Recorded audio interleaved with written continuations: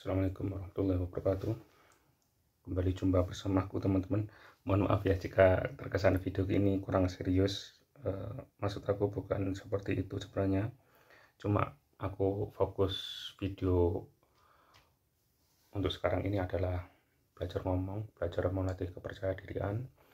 Terus intinya untuk belajar istiqomah membuat konten video yang semoga bermanfaat bagi diriku sendiri maupun bagi orang lain jadi kalau terkesan main-main ya sekali lagi aku minta maaf ya. Bismillahirrahmanirrahim. Aku sambil makan. Hmm. uh, jadi tema videoku kali ini adalah tentang itu itu teman-teman manajemen uang teman-teman. Manajemen mengeluarkan uang. Jadi khusus tentang bagaimana kita mengeluarkan uang teman-teman.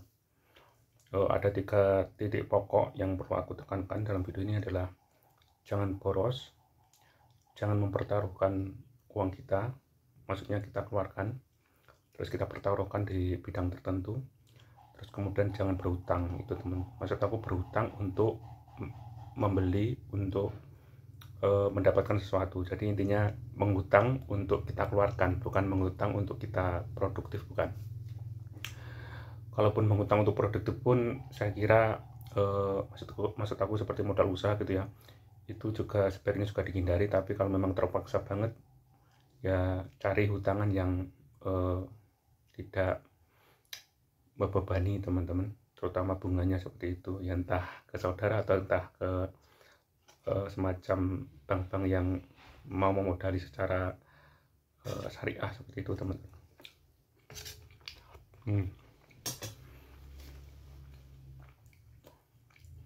jadi agar kondisi keuangan kita itu tidak kedodoran tidak mengalami apa itu eh, kemandekan pengurangan tajam sehingga menyebabkan kita memiliki tanggungan beban ekonomi.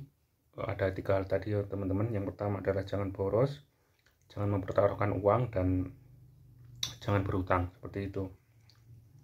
Mempertaruhkan uang itu apa saja? Ya cuma contohnya adalah ikut arisan berjudi atau mengikuti judi gitu ya. Baik itu judi online maupun judi di dunia nyata.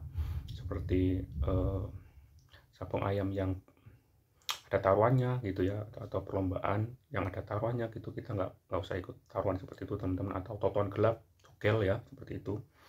Terus kemudian investasi yang nggak jelas gitu ya itu juga akan menjadi pertaruhan tersendiri teman-teman. Jadi untuk mempertaruhkan uang ini ya baik itu uang kita itu banyak maupun sedikit jangan sekali-kali mempertaruhkan uang yang tidak jelas nanti bagaimana ujungnya teman-teman.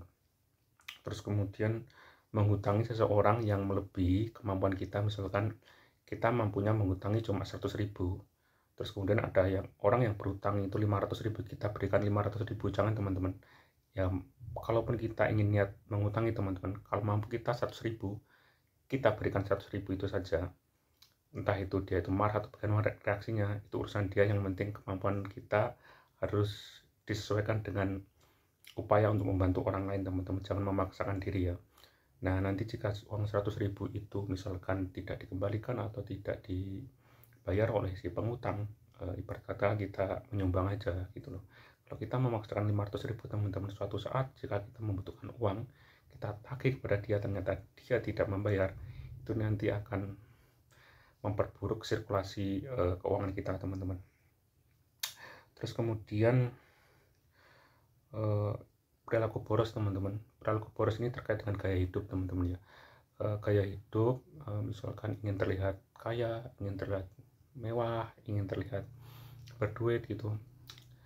Kalau aku sih orangnya lebih suka oh, uh, terlihat biasa-biasa saja tidak tidak nampak kaya tidak nampak berada gitu. Yang penting punya tabungan yang penting punya uang punya simpanan seperti itu teman-teman. Daripada terlihat kaya terlihat punya tapi tabungannya sangat mepet bahkan memiliki hutang itu aku tidak suka banget teman-teman itu bukan tipe aku ya. Terus yang terakhir adalah hindari hutang teman-teman ya. Kalau memang kepepet teman-teman kita hutangnya itu hanya kepada orang-orang tertentu saja seperti ke orang tua atau kepada siapa pun yang menghutang kita dia itu benar-benar mampu benar-benar uh, dekat dengan kita benar-benar percaya pada kita benar-benar apa bisa mengontrol kita gitu ya seperti ke orang tua atau ke pasangan atau ke saudara kandung atau siapa pun yang kemampuan ekonominya sudah terlihat kemampuan ekonomi sudah mapan sudah kita ketahui dan umpama kita menempo dulu untuk membayar hutang dia itu atau mereka itu e, masih memberi maklum atau masih memberi e, jarak atau tenggang dulu teman-teman. Kalau kita berutang kepada kantor kepada perusahaan atau kepada individu yang uh, apa ya nggak jelas dalam tanda kutip itu nanti akan menyusahkan mereka dan tentunya juga akan menyusahkan kita sendiri teman-teman seperti itu. Jadi untuk mengelola keuangan teman-teman agar agar kita itu tidak rugi agar kita itu tidak mengalami tekanan ekonomi teman-teman kontrol pengeluaran jangan sampai boros jangan sampai berhutang untuk membeli sesuatu membeli sesuatu dengan cara berhutang terus kemudian jangan mempertaruhkan uang kita teman-teman. Uang kita untuk judi untuk investasi yang nggak jelas untuk beli sesuatu yang uh, tidak kita perhitungkan gitu ya. Seperti kita membeli emas gitu ya itu kan juga pertaruhan. Emas itu kan investasi jangka panjang teman-teman. Kalau kita itu membelinya tujuannya untuk mencari keuntungan dalam jangka pendek itu juga sebuah ke kekeliruan teman-teman. Seperti itu ya. Barangkali itu dulu teman-teman video dari aku semoga bermanfaat. Terima kasih. Wassalamualaikum warahmatullahi wabarakatuh